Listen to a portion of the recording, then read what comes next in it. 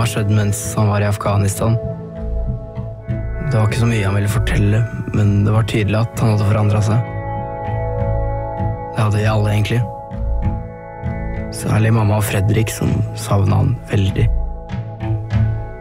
Jeg følte det nok litt annerledes.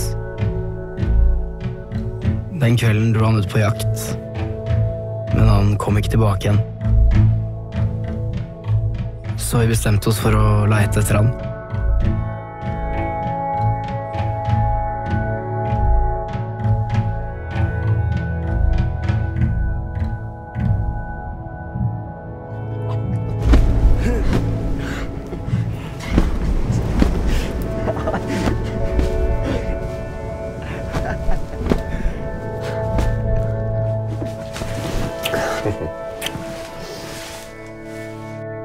Vil du ha den? Tuller du? Nei.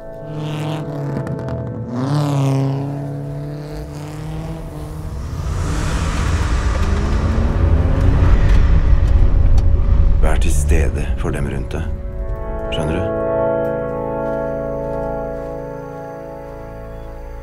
Har dere gjort noe morsomt med pappa i dag? Han dro på jakt. Hva skjer?